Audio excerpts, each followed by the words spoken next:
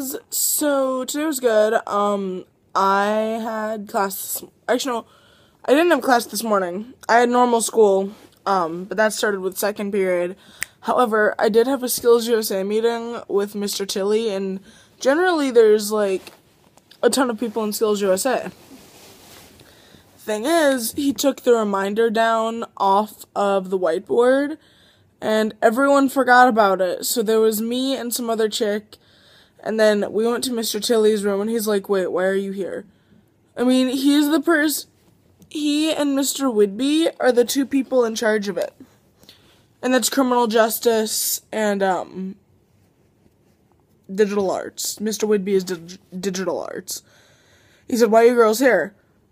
Because we have a Skills USA meeting, and both me and this other chick, who I had never seen before, are sitting there thinking, "Oh my God, nobody's gonna be there. We're gonna, I'm gonna be the only one there in the entire meeting, and it's gonna be depressing." And that's pretty much how it was. And we were thinking that on the way to the school. Both of us were. So, yeah. Um, I was watching Dracula with mom in the living room earlier.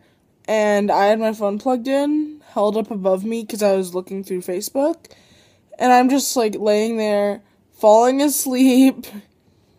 So, um, now I'm in my room publishing YouTube videos and relaxing.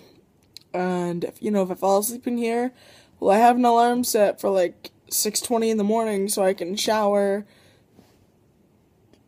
and get ready for class and whatever. And you know, as far as homework goes tonight, I have some I have some IXL I have to do which I hate IXL with a passion, and I honestly hate what we're doing right now in algebra. Algebra, because except for the um, oh poop, I can't think of what it's called. Except for the synthetic division, um, dividing the polynomials via long division is actually very very hard which is weird for me because when I took long division eight years ago in third grade, it was the easiest thing ever. But I haven't seen it since then. I haven't seen it on a single test. I haven't even heard the term long division for eight years. So for us to be going over polynomials, dividing polynomials using long division and having no idea how to do it, it's just like crazy because I was even working out just some basic long division earlier. Like, I think what I did was like 178 divided by 9. And I got, I don't even know the answer, guy. I think it was like 13 with a remainder of 7 or something. And don't hold that against me. I honestly am just thinking right now because I honestly don't remember what I actually used. But I know it was something like that. I know it was um, the divisor was 9, and I had a remainder of 5, so you would write that as a fraction of 5 ninths. Um, anyway, so that's been my day. And then I have this one chem sheet that I can work on tomorrow, because that's not so bad. The chem sheet isn't bad at all. It's just the algebra. Um, other than that, today's been pretty good. I had a meeting at 5 o'clock about dual enrollment through Roane State. And, you know, that was fine. Uh, the state of Tennessee has officially pissed me off. Yeah, because the dual enrollment grant only covers two classes. Because Roane State is $500 a class. They give you $1,200 over a four semester period. So there's two $500 classes you could take, and then you have $200 left over. Well, say I'm take like I, I know I'm taking a class this semester. It's a speech class. Next semester I'm gonna take one through Roane State, and then I want to take one in the fall and spring semester of my senior year. However, if I want to take it my senior year, I'm going to have to pay eight hundred dollars out of pocket, which I know to a lot of people doesn't seem like a lot, but that's a lot of money.